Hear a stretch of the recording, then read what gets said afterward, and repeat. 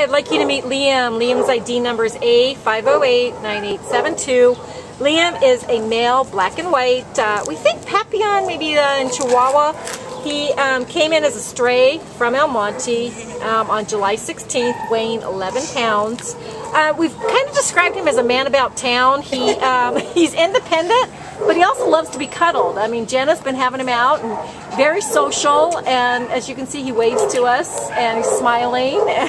Jenna, what else do you want to say about him? He is so stinking cute. Everybody thinks he's a puppy. He looks, he's got that forever puppy look, but he's probably around four.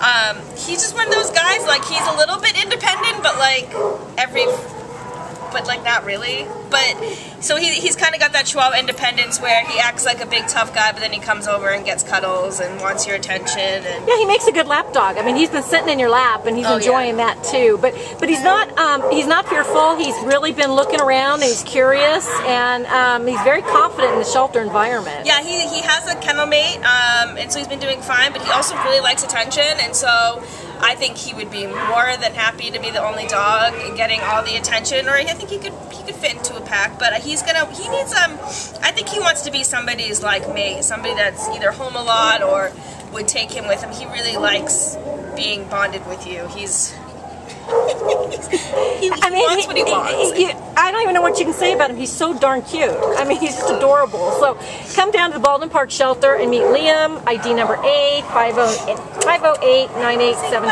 Bye, Liam. Say goodbye?